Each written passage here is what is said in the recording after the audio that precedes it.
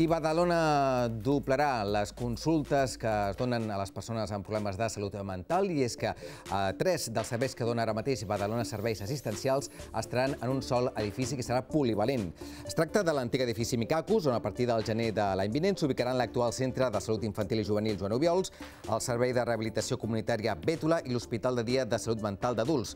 Amb una superfície superior als 1.200 metres quadrats, el nou equipament, que està ubicat al barri al carrer de Sant Anastasi, suposarà un benefici en l'accessibilitat i idoneïtat dels espais per usuaris i també per professionals. En concret, el Centre de Salut Infantil i Juvenil Joan Obiols podrà doblar el nombre de consultes de 6 a 12, afavorir l'atenció a la ciutadania. Amb motiu del Dia Mundial de la Salut Mental, que es va celebrar aquest dilluns, l'alcalde de Badalona, Rubén Guijarro, com esteu veient, i també la quarta tinent d'alcalde, Teresa González, van visitar dilluns aquestes obres. I avui també ha estat un matí complicat a la C31, a l'alçada de Badalona, a causa d'un accident. Un accident múltiple a l'alçada de la sortida entre Badalona i Sant Adrià. Ha causat aquest matí dimarts fins a 6 quilòmetres de detenció en sentit Barcelona. L'incident s'ha produït a les 7 del matí i ha deixat inoperatius dos dels tres carrils de la via, dificultant el trànsit des de Montgat.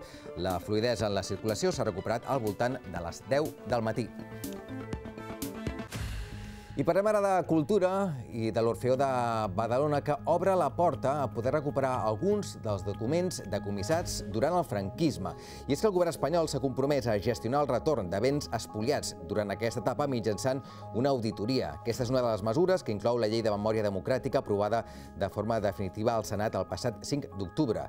Durant la dictadura es van espoliar a Catalunya fins a 291 ateneus. Ara s'han començat a estudiar 11 casos i l'Orfeó de Badalona és un d'ells.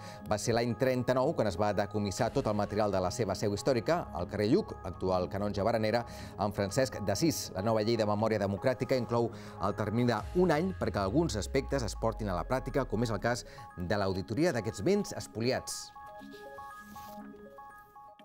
Mm, ells estan fent diguem, la pressió perquè això s'activi, que no quedi en un paper mullat, com sempre ha passat. No?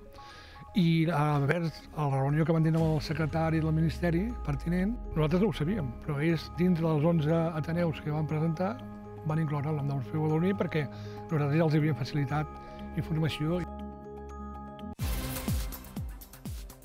Perquè la penya debuta avui a l'Eurocup, ho farà contra el Brescia italià en un partit que juga a l'Olímpic, que juga a casa. De fet, l'esquadra italiana compta amb tres nord-americans de nivell, alguns amb experiència a l'Eurolliga, com Gabriel, italians com David Moss o Della Valle. El tècnic Carles Duran farà debutar a Harold Jones, el nou fitxatge verd i negre que va ser dissabte al Palau Olímpic, però no va jugar.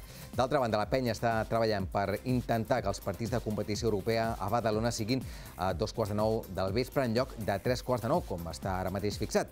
El club vol que l'afició pugui tornar més d'hora a casa en partits entre setmana. Després connectarem amb el nostre company Xavi Ballesteros sobre aquesta última hora verd i negra. I demà és 12 d'octubre, dia de festa, i és habitual que a Badalona es commemori l'Aquatló, se celebri l'Aquatló Ciutat de Badalona. De fet, serà la seva 19a edició, serà a partir de dos quarts de 10 del matí des de la platja dels Pescadors. L'Aquatló consisteix en fer dos quilòmetres i mig a peu, un quilòmetre nedant i uns altres dos quilòmetres i mig a peu. Aquesta 19a edició del Quatló serveix per posar punt i final a la temporada del circuit català i en el cas de la prova en categoria absoluta, puntua per la Lliga Catalana de Clubs d'Aquatló. A la vegada també tindrà lloc la segona Aquatló jove per categories d'infantil, cadet i juvenil, que començarà a les 9 en punt.